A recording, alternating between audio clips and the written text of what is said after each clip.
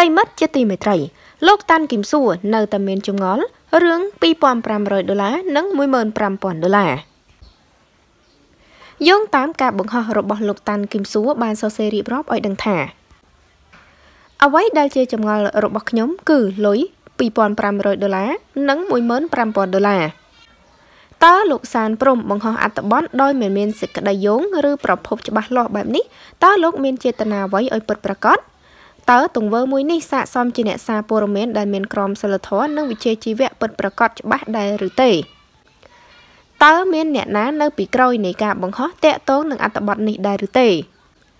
តាមអ្វីដែលខ្ញុំយល់ដឹងបន្តិចបន្តួចចំពោះសាលក្រមរបស់តុលាការដែលមិនទាន់មានការជំនុំជម្រះហើយគឺកម្រត្រូវបានធ្វើការបង្ហោះជាសាធារណៈបែបនេះណាតើការបង្ហោះបង្ហាញនេះមានចេតនាអ្វីឲ្យពិតប្រាកដហើយអ្នកណាគឺជាអ្នកនៅពីក្រោយនៃការបង្ហោះបង្ហាញនេះ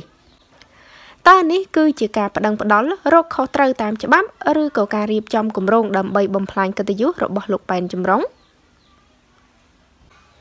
ជាប់ទោសដាក់ពន្ធនាគារ10ខែ និងបង្គាប់ឲ្យសងបំណុលទៅដើមបណ្ដឹងចំនួន60លានរៀលឬ15000ដុល្លារពីបទបរិហាគេហាក់ដូចជាខុសគ្នាឆ្ងាយណាស់ទៅនឹងជនបង្កគ្រោះថ្នាក់ចរាចរណ៍ដែលបណ្ដាលឲ្យស្លាប់បាត់បង់ជីវិតក្មេងតូចម្នាក់ជាមួយធ្នូល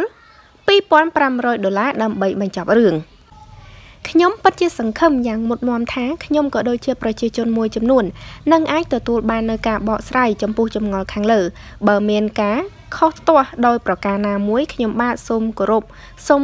ការយោគយល់និងអធិស្ឋានផងខ្ញុំគ្រាន់តែជាប្រជាពលរដ្ឋធម្មតា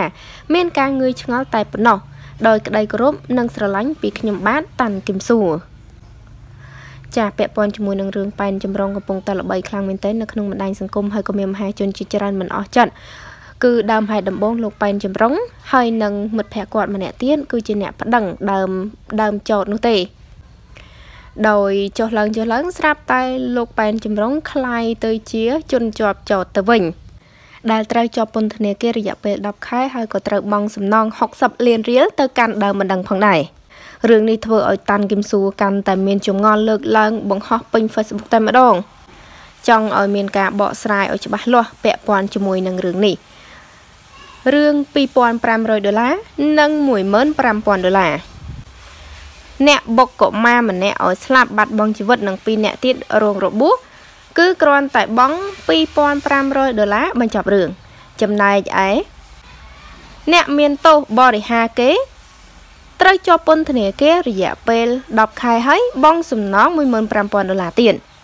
នេះគឺជាការលើកឡើងរបស់លោកតាន់គឹមសួរតើប្រិមិត្តយល់យ៉ាងណាដែរសូមចូលបញ្ចេញមតិម្នាក់មួយចាអរគុណច្រើនប្រិមិត្តទាំងអស់គ្នាតេតងនឹងព័ត៌មាននេះដែរក៏សូមបញ្ចប់តែត្រឹមនេះកុំភ្លេចចុច Subscribe និងរូបកណ្ដឹងដើម្បីទទួលបាននូវព័ត៌មានថ្មីៗជាបន្តទៀត